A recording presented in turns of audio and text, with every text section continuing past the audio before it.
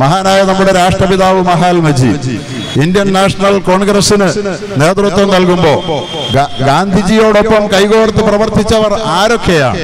നമുക്കറിയാം ഗോപാലകൃഷ്ണ ഗോഖലയെ പോലെ ബാലഗംഗാധര തിലകനെ പോലെ ഹൈന്ദവ മതധർമ്മ സംഹിതകളിൽ അഭിമാനം പേറി നിന്നിരുന്ന മഹാന്മാരായ ഹൈന്ദവ നേതാക്കൾ ഒരു വശത്ത്. മറുഭാഗത്ത് ഇസ്ലാമിക സംസ്കാരത്തിന്റെ മഹിതമായ പൈതൃകത്തിന്റെ പേരിൽ അഭിമാനിച്ചിരുന്ന പരിശുദ്ധ ഇസ്ലാമിക സമൂഹത്തിന്റെ ഏറ്റവും പവിത്ര ഭൂമിയായി എന്നും മാനിക്കപ്പെടുന്ന മക്കയിൽ ജനിച്ച് മക്കയിൽ ജനിച്ച് തിരുമക്കയിൽ പിറവികൊണ്ട് ഇന്ത്യ രാജ്യത്ത് ജീവിച്ച് ഗാന്ധിജിയോടൊപ്പം പ്രവർത്തിച്ച് ഇന്ത്യൻ നാഷണൽ കോൺഗ്രസിന്റെ ഏറ്റവും ചെറുപ്പക്കാരനായ പ്രസിഡന്റായി വിരാജിച്ച മൗലാന അബുൽ കലാം ആസാദ് വിശുദ്ധ ഖുർആന് ഏറ്റവും മനോഹരമായ വ്യാഖ്യാനം എഴുതിയ മഹാപണ്ഡിതനായിരുന്നു എന്ന കാര്യം നാം ഓരോരുത്തരും ഓർക്കേണ്ടതുണ്ട്. അങ്ങനെ മുസ്ലിം പണ്ഡിതന്മാരും ഹൈന്ദവ പണ്ഡിതന്മാരും അതുപോലെ തന്നെ ക്രൈസ്തവ പണ്ഡിതന്മാരും ഒക്കെ കൈകോർത്ത് പിടിച്ചുകൊണ്ട് രൂപപ്പെടുത്തിയ ഇന്ത്യ രാജ്യത്തിന്റെ മഹാസ്വാതന്ത്ര്യത്തെ കുറിച്ചുള്ള ആ ഓർമ്മകൾ ഇന്ത്യ എവിടെ വെച്ച് മറക്കുന്നുവോ അന്ന് ഇന്ത്യ ഇല്ലാതാകുന്നു എന്നുള്ളതാണ് പരമാർത്ഥം.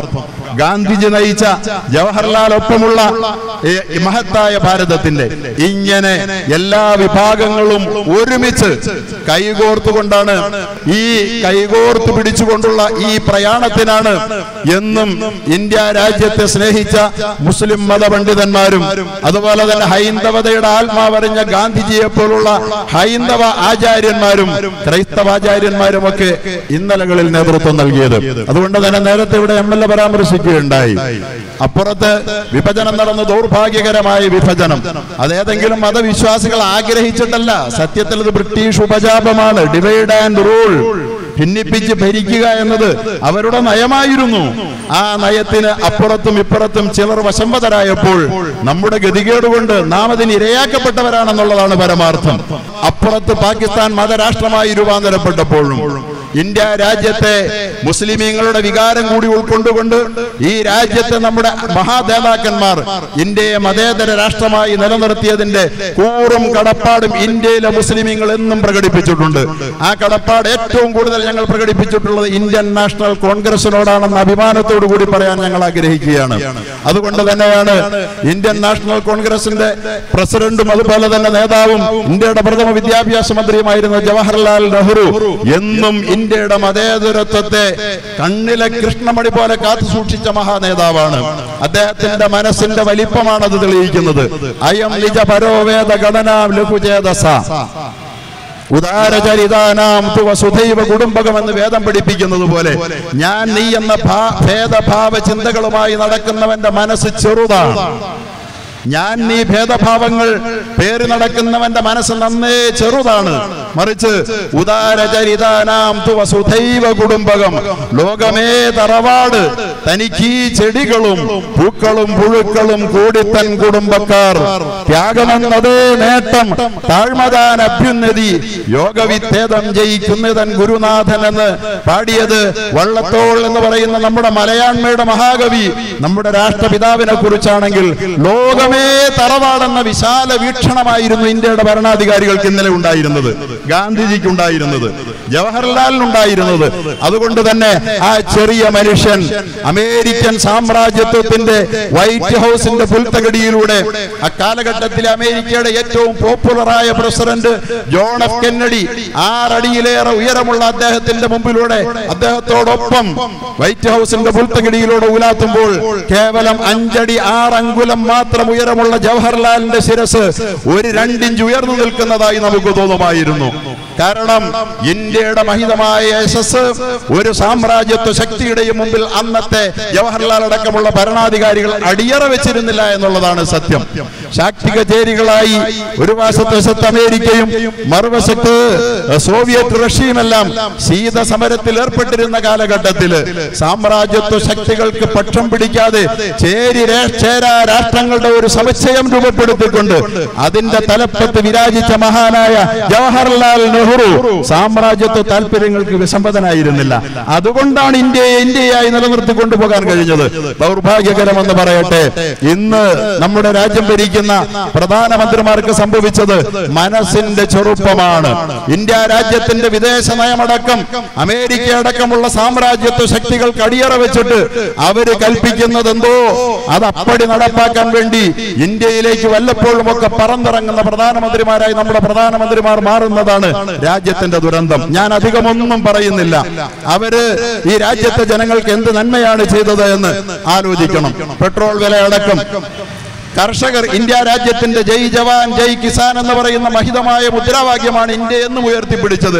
സാമ്രാജ്യത്വത്തിന്റെയും കോർപ്പറേറ്റുകളുടെയും കുത്തക താല്പര്യങ്ങൾ മാത്രം പരിഗണിക്കുന്ന പ്രധാനമന്ത്രിക്ക് അവരെ ഒന്ന് ചർച്ചയ്ക്ക് വിളിക്കാൻ പോലും മനസ്സില്ലാത്ത വിധത്തിൽ സങ്കുചിതമായ മനസ്സിന്റെ ഉടമയായി മാറിയപ്പോൾ ജനരോഷം രാജ്യവ്യാപകമായി അലയടിക്കുമ്പോൾ ആസോദി ഹിമാചലം ഈ രാജ്യത്തെ ജനമനസ്സുകളിൽ ഭരണകൂടത്തോടുള്ള വിരോധം രൂപപ്പെടുമ്പോൾ അതിൽ അഭയം അതിനെ പരിഹരിക്കാൻ വേണ്ടിയിട്ട് വർഗീയതയിലാണ് നമ്മുടെ ഭരണകൂടങ്ങൾ ഇന്ന് അഭയം തേടിക്കൊണ്ടിരിക്കുന്നത്.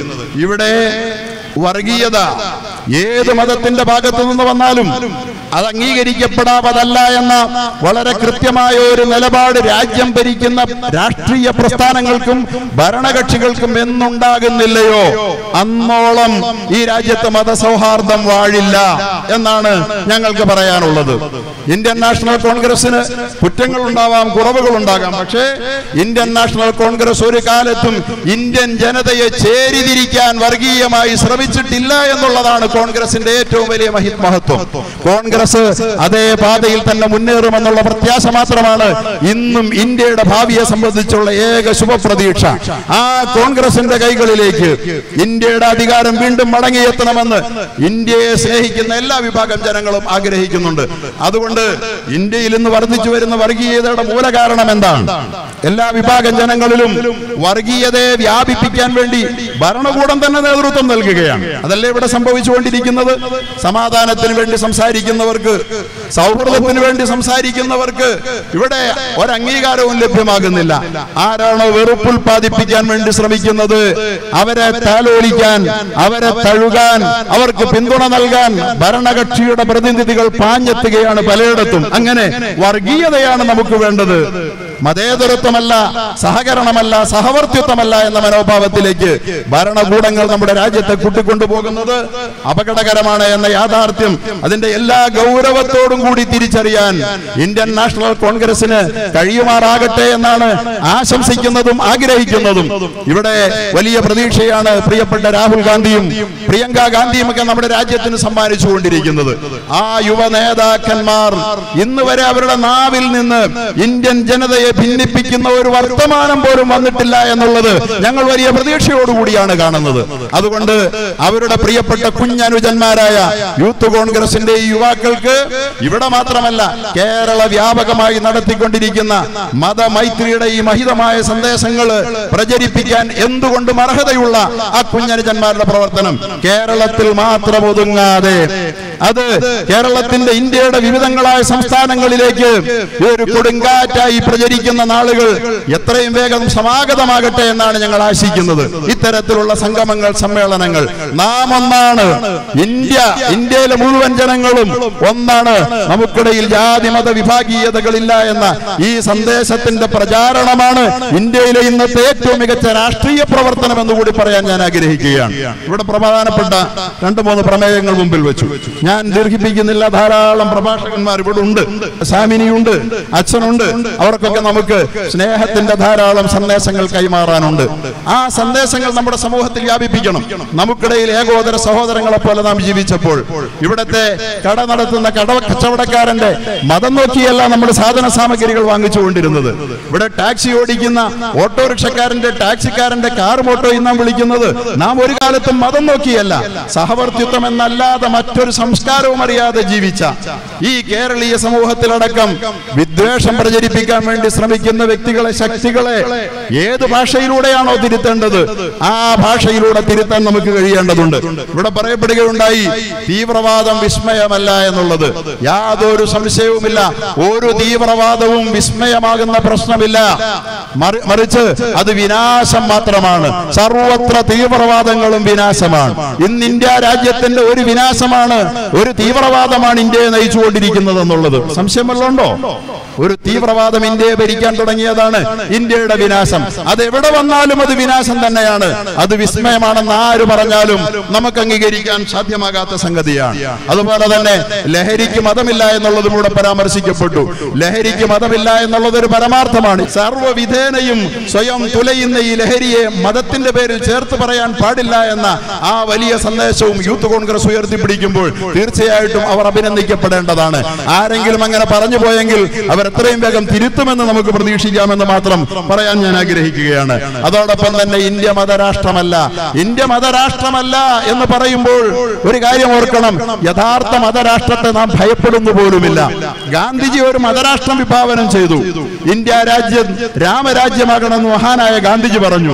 ആ രാമരാജ്യം കേട്ട് മുസ്ലിങ്ങൾ ഞെട്ടിയില്ല. ഗാന്ധിജിയുടെ രാമരാജ്യം വന്നോട്ടെ. അങ്ങനെ ഒരു മതരാഷ്ട്രത്തെ നമുക്ക് പേടിയില്ല.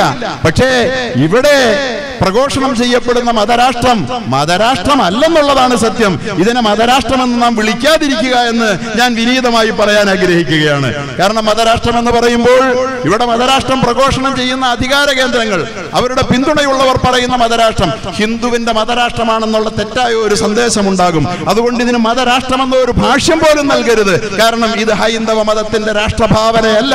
ആ രാഷ്ട്രഭാവന ഗാന്ധിജിയുടേതാണ്.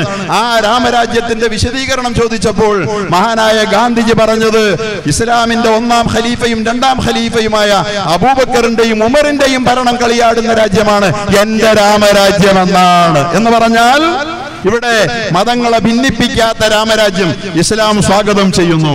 അങ്ങനെയുള്ള ഖലീഫ ഉമറിന്റെ ഭരണം ഇവിടുത്തെ ഹിന്ദു സ്വാഗതം ചെയ്യുന്നു. അങ്ങനെയുള്ള ഒരു മതരാഷ്ട്രത്തിന് മാത്രമേ ഇന്ത്യയിൽ വളക്കൂറുള്ളൂ എന്ന് ഇന്ത്യ രാജ്യത്തെ മുഴുവൻ ജനങ്ങളും ഒന്നിച്ച് തീരുമാനിക്കണമെന്ന് മാത്രം പറഞ്ഞുകൊണ്ട് അതിന് നിങ്ങൾക്ക് സാധ്യമാകുമാറാകട്ടെ. ആ മഹിതമായ പൈതൃകമാണ് ഇന്ത്യ നമ്മെ എന്നും ചൊല്ലിപ്പഠിപ്പിച്ചിട്ടുള്ളത്. അധികമൊന്നും ഞാൻ പറയുന്നില്ല.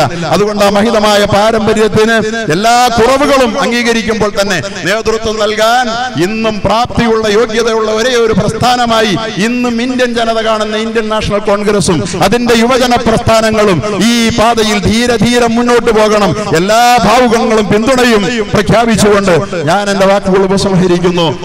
ജയ് ഹിന്ദ്. ഇത് എറണാകുളം പെരുമ്പാവൂരിൽ യൂത്ത് കോൺഗ്രസ് സംഘടിപ്പിച്ച ഐക്യ സദസ്സിൽ നിന്നുള്ള ഉസ്താദ് അലിയാർ അൽ ഖാസ്മിയുടെ പ്രഭാഷണമാണ് നിങ്ങൾ കേട്ടത്. രാഷ്ട്രീയപരമായിട്ട് പലർക്കും പല പ്രസ്ഥാനങ്ങളോടും വിയോജിപ്പുണ്ടാകാം. എന്നാൽ ന്യൂസിലാൻഡ് ഇസ്ലാമിക് ചാനൽ ശ്രദ്ധിക്കുന്നത് ഇത്തരത്തിലുള്ള നാടിനുപകരിക്കുന്ന വ്യത്യസ്ത നിറഞ്ഞ പ്രഭാഷണങ്ങൾ നിങ്ങളിലേക്ക് എത്തിക്കുക എന്നുള്ളതാണ്. അതിനെ രാഷ്ട്രീയ ആംഗിളിൽ നോക്കിക്കാണാതെ കൃത്യമായി അതിന്റെ ഒരു നന്മയുടെ വശം കണ്ടുകൊണ്ട് വിശാലമായ കാഴ്ചപ്പാടോടുകൂടി നോക്കിക്കാണണമെന്ന് അഭ്യർത്ഥിക്കുകയാണ്.